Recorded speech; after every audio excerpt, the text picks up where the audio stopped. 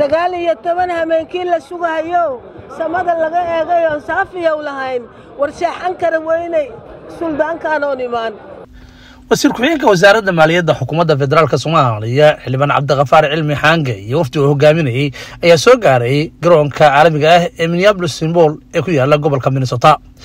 Waa markii saddexaad ee noloshayda iigu horraysaan halkan imaado. Inkastoon madax maraykana ku soo dhoweeyey. Waa markii saddexaadaan madax soomaaliya ku soo dhoweeyey. Taasi waxay ka dhigan tahay muhiimadda ay reer minnesota u leedahay inaan wasiir ku-xigeenka soo dhoweyno. Wasiirka ayaa ka mid ahaa wafdigii ra'iisul wasaaraha xukuumadda federaalk soomaaliya mudane xamse cabdi barre ay ka soo qayb galeen shirkii golaha ammaanka meertadiisa toddobaatan iyo sagaalaad ee ka dhacay magaalada new york ee xarunta qaramada midoobey wasiirka ayaa waxaa garoonka ku soo dhoweeyey qaar ka mida jaaliyadda soomaaliyeed ee ku nool gobolka minnesota qaybaheeda kala duwan guddoomiyaha guddiga arrimaha dibadda ee golaha shacabka jamhuuriyadda federaalk soomaaliya xildhibaan maxamed jaamac mursal geelle jaaliyadda soomaaliyeed ee ku nool gobolka minnesota ayaa kulan la qaadan doona wasiirka. Wasiirka wasiir xaange ayaa jaaliyadda soomaaliyeed ee ku nool gobolka minnesota waxa uga warbixin doonaa horumarka dowladda dayn cafinta dib u soo kabashada dalka iyo doorka qurbajoogta ay ka qaadan doonaan dib dhiska dalkooda hooyo.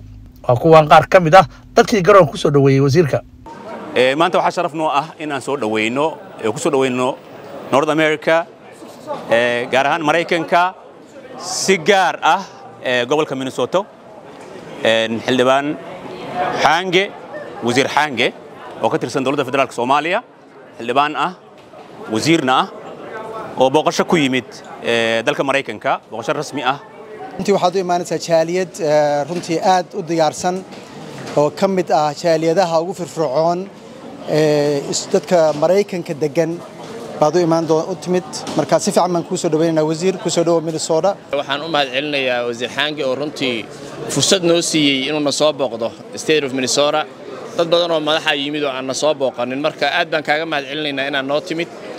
Wasiir waxaan leeyahay soo dhowow magaaladan waa minankaagi waaye waxaan ku leeyahay soo dhowow dadka meeshan aad ku arkaysid dad soomaaliyeed soomaalinimada ay ku dheer tahay baa ku soo wada dhowaynaya meeshan magaaladan waxaa la yidhaahdaa waa magaaladii siyaasadda.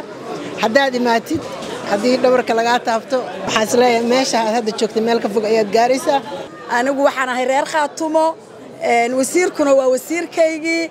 Laba jeer labada dhinacba waan ahay anigu. Soo dhowow wasiir. Intaasi kadib ayaa waxaa xildhibaan geelle waxa uu wasiirka ku soo dhoweeyey muqbaahiyaha qaranka soomaaliyeed. Mudane wasiir soo dhowow minnesota ku soo dhowow jaaliyadda soomaaliyeed ee reer minnesota oo runtii caan ku ah in ay dadka yimaadda dowladda federaalka iyo dalkii ka yimaada iyo dowlad goboleedyadaba soo dhoweeyaan oo ay u tahay sharaf iyo karaamo ku soo dhowow. Wasiirka ayaa jaaliyadda soomaaliyeed ee ku nool gobolka minnesota waxa uu ku ammaanay dadaalka ay daruudhiska ugu jiraan. Mahad dhammaanteed waxaa iskale ilaahay marka hore marka xigta waxaan u mahad celinayaa dhammaan jaaliyadda reer minnesoto oo sidaa qiimaha leh mugga iyo miisaan ka muuqdo dowlad jacaylka ah ehelnimada ah soomaalinimada ah ee aad halkaan maanta igu soo dhowayseen aad baan idinkugu bogaadinayaa waan idiin mahad celinayaa waxayna keliya ii sheegaysaa wixii aan dadka reer minnesoto weligeyba aan ku maqli jiray waxaan hubaa dadka reer minnesoto in ay dowlad dhiska socdo soomaaliya labaatan iyo shantii sano u dambaysay ay qayb libaax leh ka qaateen. Hadday noqoto inay siyaasad ahaan u taageeraan iyo hadday noqoto dhaqaale ahaan iyo mid bulshaba. Door qarsoon ma ahayn. Maanta hadda munaasabaddaani damcan waa soo dhoweyn oo keliya.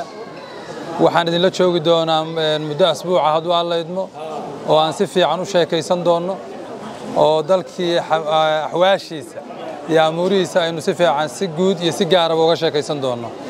Waxaan rabaa fursadda inaan ku soo koobo inaan idiin mahad celiyo kow iyo inaan salaanta aan idinkaga sido madaxweynihii iyo ra'iisul wasaarihii qaranka madaxda qaranka aan idin soo gaarsiiyo oo ayagaba kol hore halkan aad midba mar ku soo dhoweyseen walaalayaal waynu sheekaysan doonnaa waad mahadsantihiin waan idin bogaadinayaa asalaamu calaykum waraxmatullaahi wabarakaatu xakiin cabdi ismaaciil warbaahinta qaranka minnesota maraykanka